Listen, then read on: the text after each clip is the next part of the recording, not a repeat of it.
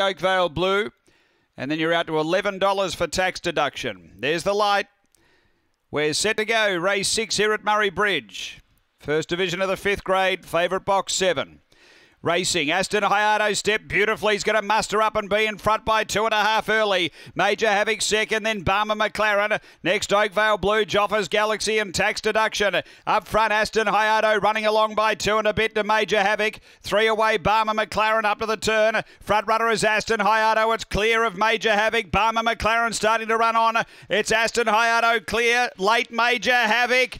Oh, gee, they're wide apart. I thought Aston Hayato, but Major Havoc's put a big dive in on the peg. Then Barmer McLaren, Oakvale Blue, Tax Deduction, and Joffa's Galaxy.